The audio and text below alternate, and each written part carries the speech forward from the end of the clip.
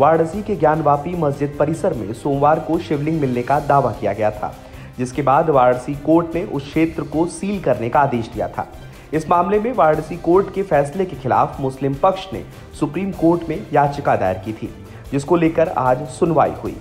ज्ञानवापी मस्जिद मामले में अहम आदेश देते हुए सुप्रीम कोर्ट ने कहा है कि जिला मजिस्ट्रेट उस क्षेत्र को सुरक्षित करे, जहाँ शिवलिंग मिला बताया गया है। इसके साथ ही मुस्लिमों के प्रार्थना करने या धार्मिक गतिविधि के लिए प्रवेश को रोका ना जाए। सुप्रीम कोर्ट ने वाराणसी की अदालत के सील करने के आदेश को शिवलिंग क्षेत्र सुरक्षित करने तक सीमित कर दिया है। वाराणसी की कोर्ट की कार्यवाही पर कोई रोक नहीं लगाई गई है। सुप्रीम कोर्ट ने निचली अदालत के आदेश को संतुलित करार दिया है। इसके साथ ही सुप्रीम कोर्ट ने कहा है कि यह मामला टाइटल सूट का नहीं है, अलबत्ता पूजा के अधिकार से जुड़ा है।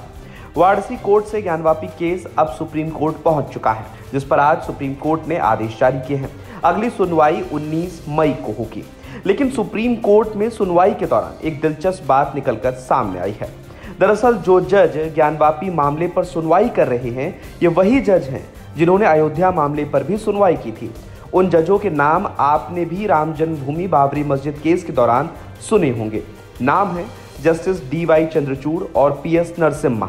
दरअसल जस्टिस डी वाई चंद्रचूड़ और पी एस नरसिम्हा की बेंच को ज्ञानवापी मस्जिद मामले पर सुनवाई करनी है।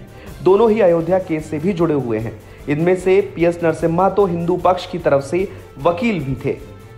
जस्टिस डी वाई चंद्रचूड़ पाँच जजों की उस बेंच का हिस्सा थे, जिन्होंने राम जन्मभूमि बाबरी मस्जिद विवाद पर सुनवाई की थी। इस मामले में श्री राम जन्मभूमि के पक्ष में फैसला गया था, जबकि जस्टिस पी एस नरसिम्हा इस मामले में बतौर वरिष्ठ वकील हिंदू पक्ष की ओर से पेश हुए थे। वो साल 1950 में पहली बार कोर्ट का दरवाज़ा खटखटाने वाले गोपाल सिंह विशारद के उत्तराधिकारी राजेंद्र सिंह की तरफ़ से पेश हुए थे।